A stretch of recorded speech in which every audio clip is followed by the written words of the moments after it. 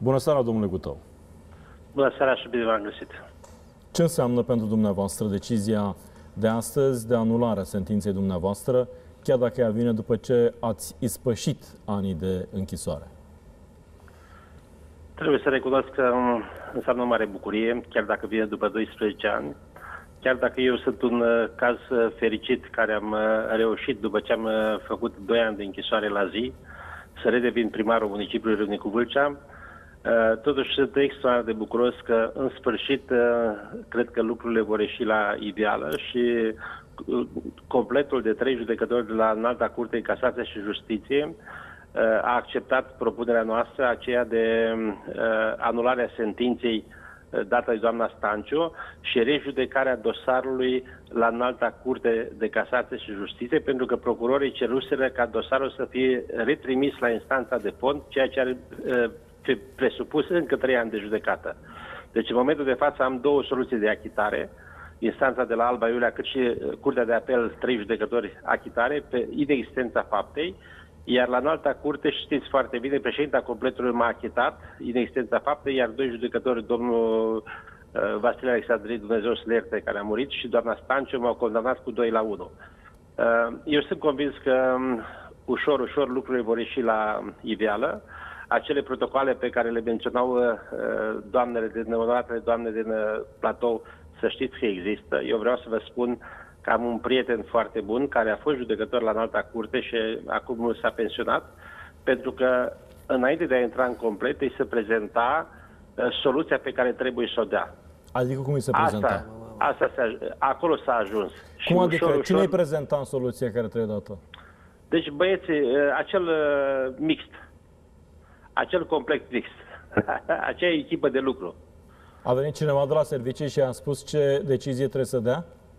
Da, se făceau acele complete pe care le știm cu toții, care erau alese aleatorii, din care doi erau oameni serviciilor și cele două vedeau și spuneau aceasta este soluția noastră. Dacă dumneavoastră vreți, puteți face opinie separată. E lucru pe care mi l-a arătat un prieten foarte bun care s-a pensionat și că nu vreau să-i Vi l-a spus sau vi l-a arătat? Nu, mi-a spus. Nu avea ce să arate. Da. Deci așa funcționa și vreau să vă spun, prin toată experiența pe care am trecut, așa s-au întâmplat uh, lucrurile și uh, eu sunt convins că nici Vișinevski, cel care și-a bătut joc de oameni, n-a sperat că va ajunge la închisoare. Eu sunt convins că și cei care au semnat aceste protocoale vor răspunde în fața legii. Poate peste 10, poate peste 20 de ani, dar vor răspunde. Sunt convins de acest lucru. Domnule Gutău, mi-aduc aminte, am văzut imagini la momentul în care am făcut acea emisiune Poate le reluăm un pic. Uh, imagini cu arestarea dumneavoastră, cu soția dumneavoastră în momentul arestării, cu disperarea pe care o avea. Ce stare a avut soția, familia, când astăzi s-a luat această decizie? Vă dați seama că s-au bucurat uh, enorm. Noi suntem o familie foarte, foarte unită, suntem căsătoriți de 38 de ani. Uh, am doi copii, în momentul respectiv erau studenți, de fapt, nu, fetița terminaseră, dar băiatul era student, a venit în Vâlcea să se alături de mamă, vă dați seama, soția este notar public, din primul om din județ am ajuns în groapa cu lei, era nevoită săraca să aibă grijă de, de familie, să vină în fiecare sâmbătă la mine. A fost o perioadă extrem de, extrem, extrem de grea. Perioada în care în toți acești 12 ani nu am scăpat de această stigmă de, de hoți, de, în campania electorală pe care am avut-o chiar acum. Am avut un curaj teribil, trebuie să recunosc că am candidat uh, în 2016 uh, um, și am candidat de la un partid mic, pentru că partidele mari au considerat că uh, corupția au ce căuta. Și am candidat de partea Partidului Ecologist și cu toate astea am învins zdrobitor.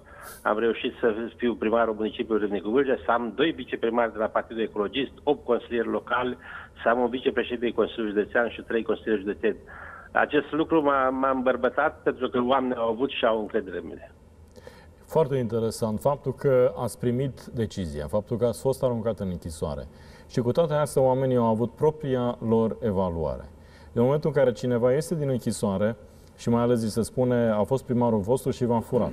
Oamenii pot, uh, fără să aibă toate datele, fără să știe ce este în spate, fără să aibă informații despre aceste protocoale, să zică, da, domne, este o persoană coruptă. Cu toate astea, evaluarea oamenilor a fost una foarte, foarte corectă. Cum vă explicați faptul că oamenii au putut să treacă dincolo de o decizie atât de uh, cumplită și, după câte înțelegem, nedreaptă, așa cum se statuează prin decizia CEDO și prin decizia de astăzi? Domnule Gâdea, oamenii au reușit să vadă cine este Mircea Gutău. Eu fac parte într-o familie de 10 copii, sunt bucovinean și sunt măritat în uh, Oltenia și toate asta am reușit să câștig pentru că la primul mandat uh, din 2004 mi se reproșa doar că sunt genetic, altceva nu putea să mi se reproșeze. Au văzut familia pe care o am, au văzut conduita pe care o am în societate, au văzut că nu sunt uh, hahtiat după avere. Am o casă și soția este notar public și a câștigat, slavă Domnului, fantastic de bine și câștigă fantastic de bine. Uh, deci oamenii au văzut exemplu personal pe care l-am dat și cred că acest lucru i-a îndemnat să mă, mă boteze și vreau să vă spun că sunt extraordinar de bucuros acum că merg pe stradă și lumea mă strânge în brațe. Pentru că, cum să spun, aceasta este, este, aceasta este bucuria cea mai mare pe care poate să aibă un primar. Domnule Gutău, cea mai teribilă amintire din această perioadă, din acești 12 ani, care este? mi-ar fi greu să, să relatez. Poate să vă spun, atunci când, din primul om din, din județ, am reușit să stau într-o încăpere cu 62 de persoane, când am reușit să mănânc la masă și cu anumiți deținuți și după o săptămână am întrebat tu pentru ce faptă ești aici? Și mi s-a spus pentru faptul că s-a, s-a, s-a transformat într-un încasator de, de taxe de la Redel, s-a dat de dreptul un electrician, un, un casator de taxe la Redel, a mers într-o casă, în casa unei bătrâne, a omorât-o, a violat-o și după aceea, ă, când s-a, după ce a violat-o, când s-a întors, a intrat soțul pe ușă și l-a omorât și pe soț. Și am realizat unde am ajuns. Deci eram, cu cine mâncam la masă și cu cine eram nevoit să, să supraviețuiesc. Și atunci a fost un moment extra de, de greu pentru mine, pentru că am realizat și mi-am adus aminte de o învățătură pe care mi-a spus-o profesorul meu de judo, că dacă vrei să reziști într-o luptă, trebuie să folosești același tactici cu adversarul. Dacă adversarul este dur, trebuie să fii și tu dur, dacă adversarul este calm, trebuie să fii și tu calm. Și atunci a trebuit să mă transform și eu, uh, ca și ei, ca să pot supraviețui acești doi ani, să mă impun, să devin lider, să cer uh, non-stop să ies la muncă și am muncit 2 ani de zile uh, la bucătărie, la tranșat, uh, la curățenie, la orice, la tăiat porci, la tranșat carnea de porc, vedeau șase jumătăți de porc pentru 2000 de deținuți. Deci am făcut orice, tocmai ca să nu stau în celulă, pentru că statul în celulă m-ar fi dus la... n-aș mai fi ieșit normal. Faptul că am ieșit non-stop și munceam 12 ore pe zi, m-a, m-a făcut echilibrat să rezist și să rămân ceea ce am fost. Câți erați în celulă? Am, cei mai mulți am fost 62, dar în rest am fost cam 18-22, cam așa. Dar și 62 în celulă, cred că toată lumea poate să-și imagineze ce era acolo. Da, dar trebuie, trebuie să vă imaginați că nu era, dacă te uitai sub pat, pentru că acolo toată averea ta este o geantă în care ai și mâncare și pantofi și lejerii intimă, tot ce vrei și de sub sub pat toți care mâncau aruncau cocene de cotoare de, de... Era o mizerie de nedescris. Bineînțeles că după câteva zile i-am convocat, am aruncat apă pe jos, am uh, făcut o curățenie. Deci trebuie să te adaptezi condițiilor de acolo ca să poți rezista, altfel nu poți rezista. La emisiunea pe care am realizat-o, în momentul în care ați câștigat la CEDO, spuneați că sperați ca influența doamnei Livia Stanciu la înalta curte să fie din ce în ce mai mică. Decizia de astăzi arată că, de, că influența doamnei uh, Stanciu la înalta curte este zero. Și acesta este un lucru foarte bun după ziua de azi, nu? Este un lucru foarte bun și avocatul mi-a spus că um, și comportamentul completul de judecată a fost senzațional pentru că a oprit dosarul spre rejudecare la înalta curte și nu l-au trimis așa cum solicitase parchetul să o, ia din nou, să o iau din nou de la prima instanță, ceea ce ar fi presupus încă trei ani de judecată. Eu mulțumesc Dumnezeu că am apucat să văd și această soluție, pentru că sunt uh, zeci de oameni care poate au decedat sau familiile au dispărut. Eu sunt un caz fericit, dacă se poate spune fericit, după 12 ani de, de umilință și jignire aduse de la tot uh, noi ca nimeni, uh, putându-se această pecete de, de hoți, atâta timp cât În acest dosar nu există absolut nicio probă. Singura probă pentru care am fost uh, condamnat a fost aceea că am ridicat mâna în sus. Când denunțătorul de la 6 metri a spus, știți, am ceva pentru dumneavoastră. Eu am ridicat mâna și am spus nu. Și îmi spune procurorul pe pagină, în colțul paginii, este adevărat că a spus nu, dar a făcut din mâna dreaptă un semn că da. Asta este singura probă. Nu am nicio convorbire telefonică. Am fost urmărit, uh, exact cum a fost urmărită și doamna primar de la Craiova, uh, 24 din 24 de ore. Deci este ceva strigător la cer. Dar uh, cu mine s-a început marea, marea corupție din, din România. Uh, domnule Gutău, veți merge mai departe. După 12 ani de procese, există poate în momentul de față, eu știu, o oboseală. Atâția, nu o oboseală, este un surmenaj de nedescris probabil. Merită să mergeți mai departe, nu veți merge mai departe, veți încerca să-i trageți la răspundere pe cei Domnul care v-au făcut atât de mult rău? În momentul în care am, uh, am obținut uh, succesul de la CEDO și am cerut uh, revizuirea, m-am consultat cu foarte mulți prieteni de mei. Vreau să vă spun că 95% din prieteni mi-au spus să nu continui această luptă, că sigur vor veni și mă vor încorseta și mi-vor face belele. Drept dovadă, unii au avut chiar dreptate, pentru că eu am câștigat alegerile în 2016 detașat de la Partidul Ecologist și m-au invalidat la judecătorie. M-au invalidat pe motiv că n-aș fi avut dreptul să candidez atâta timp cât biroul electoral județean, format din, do- și din, care făcea par- din care făceau parte și doi judecători de la tribunal, au văzut foarte clar că îndeplinesc condițiile pentru a candida. Deci vă dați seama până unde s-a făcut această presiune. Și, și cum ați ieșit din treaba asta? Că... Am mai stat o lună pe, pe tușă și s-a judecat recursul la tribunal și ambii judecători mi-au dat câștig de cauză. Um, bun, cred că aveți o responsabilitate sporită. Faptul că vi s-au făcut dreptate, asta cred că pune pe umerii dumneavoastră o povară în plus. Să faceți și dumneavoastră dreptate, socială în toate echipurile pentru oamenii care v-au ales și care au avut încredere.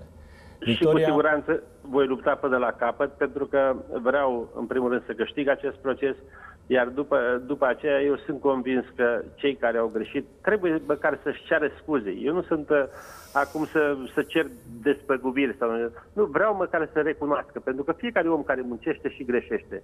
Dar eu cred că atunci vom reuși să fim o țară cu adevărat democratică, când chiar un judecător, dacă a greșit, să spună, domnule, îmi cer scuze, am greșit. Atât vreau. Credeți că și dumneavoastră ați fost pus pe o listă neagră de cineva? Cu siguranță da. De oameni de aici, nu?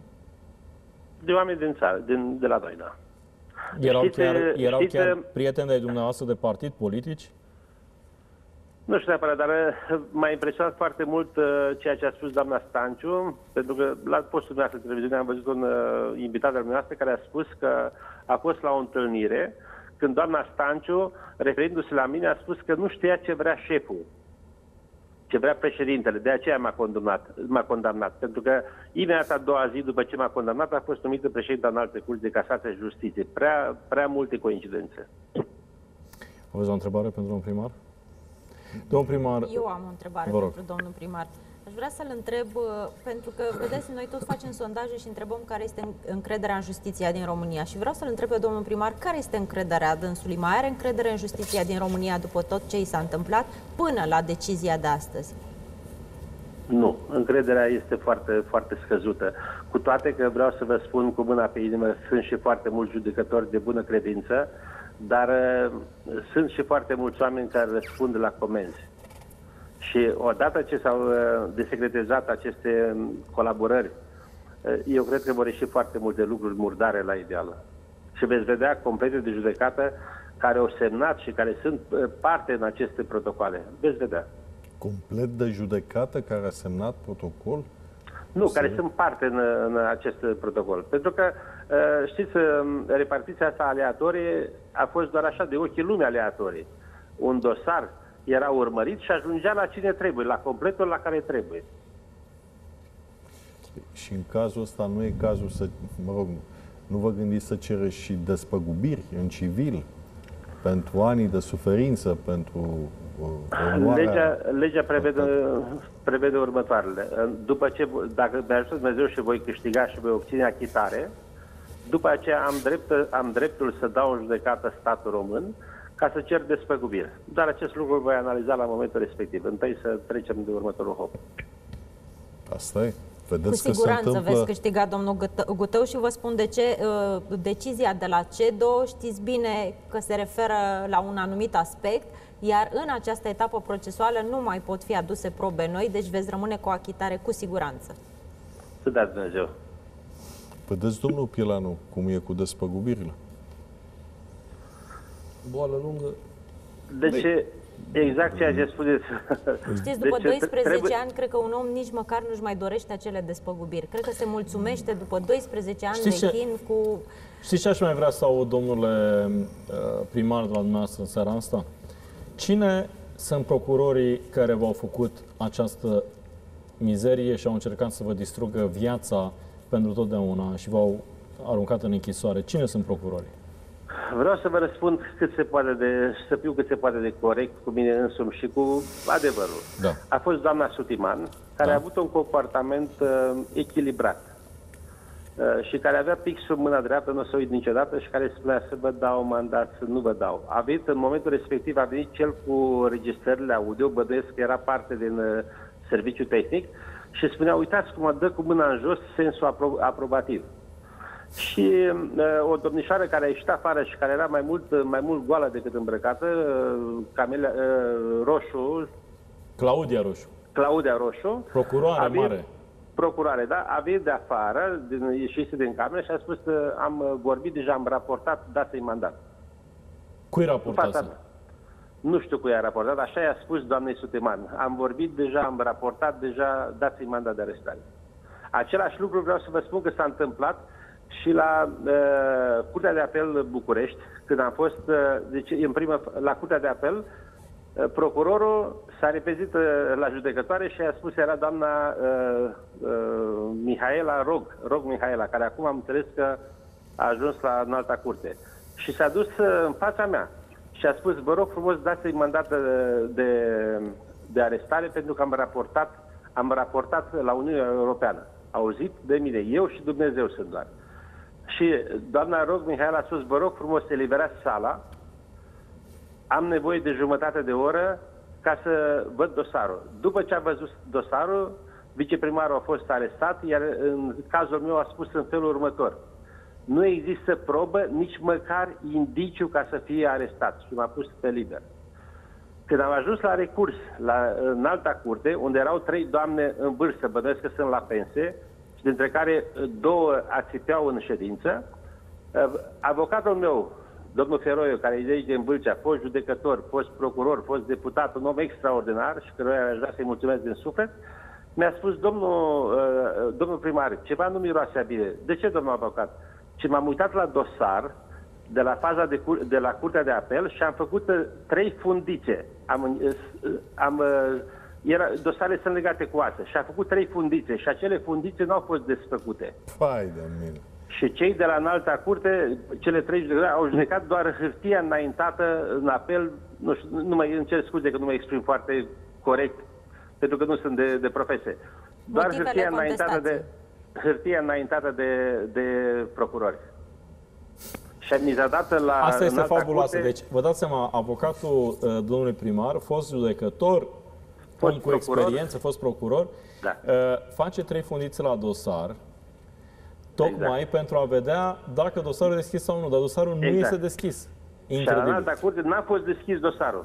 Dar se judecă propuneri de arestare unde dosarele nu sunt în sală. Deci nu sunt. Judecătorul nu le are în sală atunci când judecă propunerea de arestare Da. preventivă. Ce trei fundițe? Și mi-au dat imediat 30 de zile care s-au transformat în 4 luni de zile de arest preventiv. Mai am o întrebare eu pentru dumneavoastră. Ne-ați povestit la un moment dat un episod unde spuneați că o persoană de la interceptări, ați numit-o dumneavoastră, a venit și v-a arătat ceva. S-a recomandat acea persoană, v-a spus ce funcție are, dacă este polițist, dacă este organ de cercetare, dacă este ofițer SRI, v-a spus cine este, s-a recomandat? Nu, nu înțeleg, nu știu ce am, ce am spus. La urmărirea penală, ați spus că în momentul în Ah. care erați cu Nu, procurorul... în, mo- da. A Când venit- eram cu procurorul, a venit partea tehnică, cei care veneau cu registrările. Bun, și dumneavoastră Bă- știți că bănuiesc că partea nu știu aceea... cine erau. Numai puțin, dumneavoastră știți că partea aceea tehnică era uh, din cadrul DNA sau putea fi un ofițer SRI? Nu știu, cu siguranță bănuiesc că erau un serviciu big de sau un, Bănuiți, dar mixtă. nu s-a recomandat și nu v-a spus ce calitate nu, are. nu, nu, nu, a venit și a arătat mai mult procuror, nu vorbea cu Nu mine știți de și ce a întreb desfăcut- lucrul ăsta? Pentru că uh, sunt dosare în care acești ofițeri SRI asistau efectiv la audierea inculpaților și a martorilor în dosare. Ilegal. Erau prezenți ilegal, dar niciodată nu se recomandau, inclusiv noi, avo- avocații, am fost induși în eroare de multe ori, n-am știut că ei sunt ofițeri SRI și asistă la declarația inculpaților și a martorilor. În aceeași încăpere cu procurorul, în aceeași încăpere cu noi avocații. Și acum se mai întâmplă asta? Poate că se mai întâmplă. Uh, domnule primar, ce ați transmite doamnei Claudia Roșu care a venit cu ordin ca să fiți arestat? Stă Dumnezeu să aibă un Paște fericit cum l-am avut eu cel din 2010 și 2011. Și dumneai și doamnei uh, Livia Stanciu. În 2010-2011 ați fost în închisoare? Da. Cum a fost Paștele ăla? Vă dați seama că um, cum putea să fie. Luam biscuiți de la colegii de deținuți că vrea fiecare un dulce. Eu am făcut inițial, am făcut liceu industrial, industria alimentară, după aceea am făcut facultatea și îmi place să... Am rămas cu... așa, îmi place să gătesc. Și am făcut un uh, tort de biscuiți. Am luat niște cacao, am luat margarină dimineața și am, i-am amestecat. Am luat o pungă de plastic și pe punga respectivă am combinat cu un pic de, de lapte, am răsucit și am făcut niște biscuiți, de, salam de biscuiți, dacă știți cum e cu cacao, și le-am tăiat câte o bucățică la prânz și le-am dat și am sărbătorit Paștele. Aveți idee cine va trecut pe listă din țară? Există foarte multe mm, zvonuri, dar așa cert nu pot spune. E Dumnezeu sus, sunt convins că le plătește. Cert este că mm, cel că cei care au creat sistemul ăsta au început să răspundă deja ei. Dar era cineva de la Vâlcea sau de la București? Na, nu de la Bâlcea. Nu, eu aici la Bâlcea am avut, am avut și am o relație excelentă. Am venit uh, Domnul pregătit. așa, primar, nu știu. domnul primar nu vrea să spună cu- cu nume și prenume, dar a spus un pic mai devreme, vedeți, lucrurile astea se mai află. Deci, doamna Livia Stanciu a lăsat să se înțeleagă foarte clar că în cazul deciziei domnului Butău vorbise cu cineva și a spus că nu, cum a zis președintele, că președintele s-a interesat personal, nu? Șeful. Șeful. Ce șef putea să aibă? Da. Domnule Gâdean, toate dosarele în care se pronunță achitări, că fapta nu există sau nu sunt probe, toate acele dosare, să țineți minte, au fost dosare cu țintă. Pentru că nu ai cum să începe o urmărire penală când după 3 ani, după 4 ani, un judecător constată că fapta nu există sau nu sunt probe, dar tu, procuror, să începi o urmărire penală, să constați că ai probe, să trimiți dosarul în judecată și să mai vrei și o condamnare. Deci toate acele dosare pe care le, le veți vedea că se termină cu achitare pe lipsă de probe sau fapta nu există, sunt dosare unde oamenii au fost ținte. Acolo nu e vorba de infracțiuni, acolo nu e vorba de fapte, acolo e vorba de oamenii care au fost luați ca țintă. Dacă îmi permiteți, Vă rog, Dacă îmi permiteți să vă mai spun uh, o secvență de la înalta curte, atunci când uh, procurorul trimis de DNA uh, a cerut uh, un nou termen în dosar, pentru că el este pentru prima dată în dosar și a spus că ar vrea să vadă dosarul și din cât a spicuit el dosarul, primarul n-a- nu este implicat, nu știu ce caută primarul în dosar și ar, vedea să se, uh, și-ar dori să, să se vadă în instanță și casetele cu așa zisul flagrant. Și judecătorii au pus hârtia în față, cum pun judecătorii, și au spus că acceptă un nou termen ca să uh, poată vedea dumnealui dosarul, dar nu sunt de acord, nu sunt de acord să vizioneze caseta, pentru că ei nu judecă pe fond. În momentul ăsta, avocații pe care aveam mi-au spus că nu mai există niciun risc să fiu condamnat. că De fapt, s-au antipronunțat că nu judecă pe fond. Și fără să audieze martori, fără să, decât pe mine, vinovat, nevinovat, avocații, rămân în pronunțare. Ne-au dat această condamnare. Când v-a fost atunci cel mai greu, cel mai greu, când vă înscenau și vă făceau toate mizeriile astea, uh, presa a fost receptivă, nu la abuzuri. Câte posturi de televiziune au arătat la nivel național, uh, cel puțin să asculte familia și uh, lucrurile care sunt uh, socotite din dosar a fi complet uh, uh, fără susținere? Câte posturi de televiziune? Cele care sunt independente, adică dumneavoastră și RTV-ul.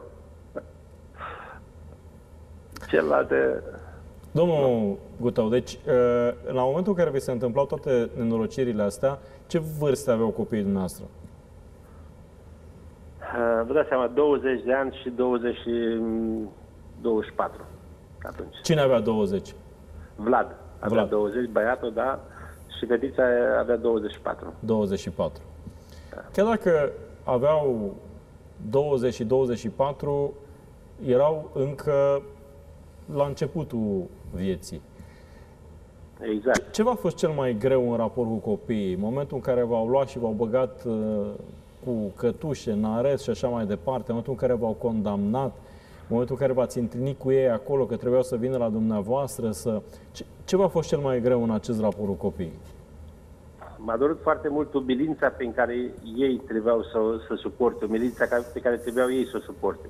Eu v-am spus, sunt un bărbat uh, robust, un bărbat rezistent, uh, provin o familie de 10 copii, cunosc ceea ce e greu, m-am adaptat foarte repede, dar ei, faptul că veneau, faptul că stăteau uh, de 12 ore în fața penitenciarului, în ploaie, în vânt, în, ca să aibă timp să intre la mine.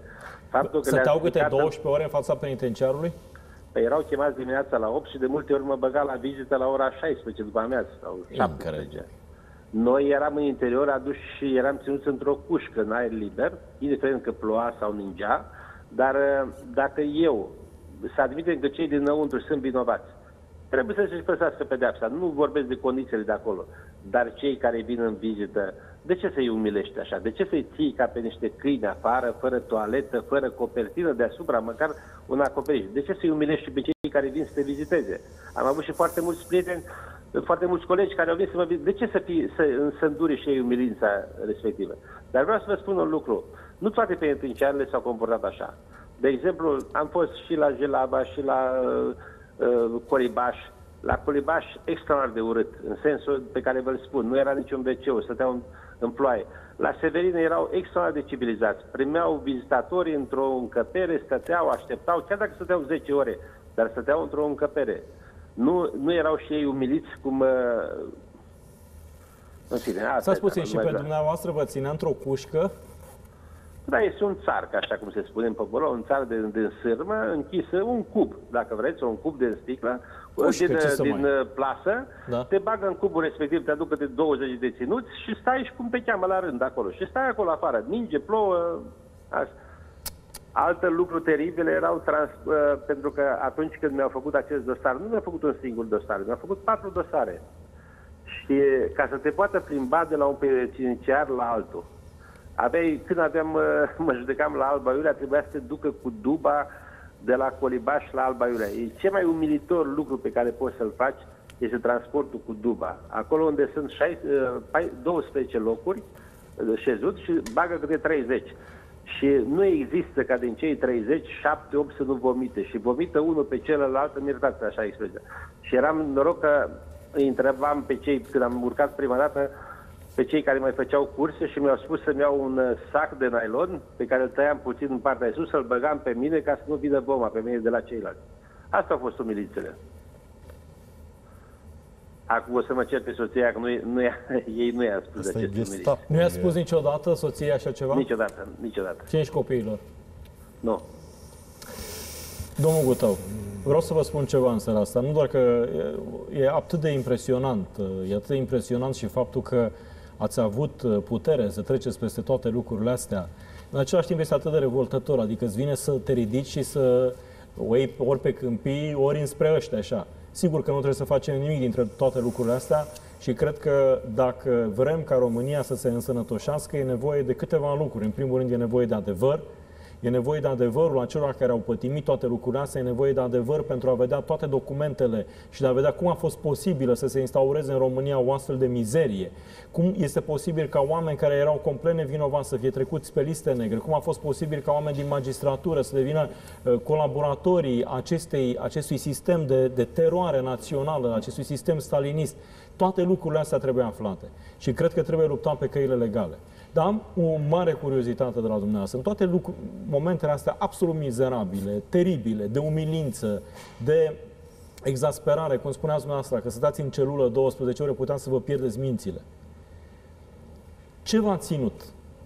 Ce v-a ținut să credeți, să sperați, să luptați, să mergeți mai departe. În Paștele la, la Paștele la Teribil, când le făceați deținuților ce erau ei, violatori, ce erau ei, să le faceți un tor de biscuit. Ce v-a ținut uh, puternic? Vreau să vă spun că în momentul când am discutat uh, și am aflat că rata, uh, procentul celor care încearcă să-și ia viața de acolo este ajuns la 62%, m-am spăimântat. Erau momente teribile la început și atunci am mers la un uh, psiholog, am cerut să merg la un psiholog, o doamnă care nu-i mai știu numele și care aș vrea să-i mulțumesc și acum și care mi-a spus în felul următor, lucru care m-a schimbat total. Mi-a spus, domnul Gutău, nu știu pentru ce ați intrat dumneavoastră aici, dar trebuie să trăiți și să luptați, pentru că dumneavoastră veți face 2 ani, 2 ani și jumătate și veți uh, ajunge acasă. Gândiți-vă că dacă aveați un accident de mașină, poate rămâneați în fir într-un căruț cu rotile sau cineva drag din familie uh, s-ar fi dus și nu mai putea fi uh, reparat acest, acest necaz.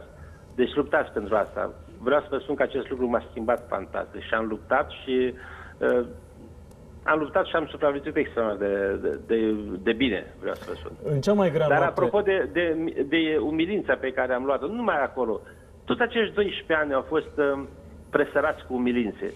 Chiar astăzi, uitați, înainte de a afla decizia, Da? Am suferit o umilință. Așa. Am fost selecționat de Asociația Municipiilor din România, o delegație de 10 inci care să plecăm în Statele Unite. Da. Și am mers să iau viza de la Statele, din Ambasada Statelor Unite. În timp ce pe toți ceilalți mergeau la ghișeu, stăteau 5 minute, luau viza, pe mine m-au plimbat la 5 cabinete ca să mă, ca să mă întrebe de incidentul pe care l-am avut. Noroc că am avut uh, toate hotărârile judecătorești, inclusiv cele de la CEDU traduse, autentificate. Noroc că am fost inspirat și am avut. Și totuși aș vrea să le mulțumesc acum că în sfârșit, după ce am stat 3 ore, mi-au dat viza. Bun, Dar uh, acolo de există, ce niște, să îndur toate acolo există astea? niște proceduri, nu iau eu uh, Nu, nu, nu, nu, apărat. corect. Dar Dar niște vreau să vă proceduri spun- în momentul în care cineva e condamnat pentru că Exact. ei uh, mizează pe faptul că justiția se înfăptuiește în mod corect. în Exact, momentul exact. în care văd pe cineva condamnat, este de datoria lor să verifice. Dar faptul că Exact. v-au Eu dat nu le viza să reproșez, mergeți spun doar e că minunat. care sunt repercursiunile unei condamnări necorecte. te lovește peste tot, adică Exact, orice ușă exact. deschis te lovește. Uh, În noaptea, prima noapte din închisoare, care bănuiesc că a fost îngrozitoare, v-ați imaginat ziua asta, seara asta în care veți fi... Trebuie să recunosc că tot timpul am sperat că va veni Ați o sperat. zi, pentru că știam că sunt nevinovat. Știam că, domnule, dacă n-am pus, niciun om nu este sfânt în lumea asta. Dar nu am pus, n-am cerut, nici, nici la mine în dosar, nici denunțătorul. Când a pus una pe Biblie, a spus că, știți, prim- v-a cerut, și judecătorul a întrebat, v-a cerut primarul ceva? Nu mi-a cerut, dar mi-a dat de înțeles că se obține autorizația greu. Asta a fost cea mai dură Deci acuzație care mi s-a denunțătorul, făcut. singurul denunțător uh, vine și Exact. spune că nu, nu i-ați promis nimic?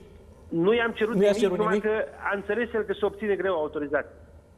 Asta a fost toate, toate probele din dosar. Și chiar aș vrea ca aceste rechizitori al meu să fie făcut public. Am cerut în permanență. Felicitări familiei dumneavoastră că a trecut prin acest iad. Felicitări și aplaud pe cei din Râmnicu Vâlcea care au știut să evalueze corect și au înțeles foarte bine că vi s-a făcut o nedreptate și v-au reales zdrobitor. Și mult succes dumneavoastră, să nu-i dezamăgiți niciodată, să-i faceți mândri și pe cei din familie și pe cei de acasă și să luptați până la capăt, pentru că sunt mulți oameni care au nevoie de exemplu dumneavoastră, domnule primar. Mulțumesc Vă și vă mulțumesc. doresc, vă doresc un Paște fericit alături de cei dragi și alături Vă de mulțumesc din suflet și vă oamenii doresc tuturor dumneavoastră celor din din emisiune un Paște fericit, să vă dea Dumnezeu tot ceea ce îmi doresc și mie. Doamne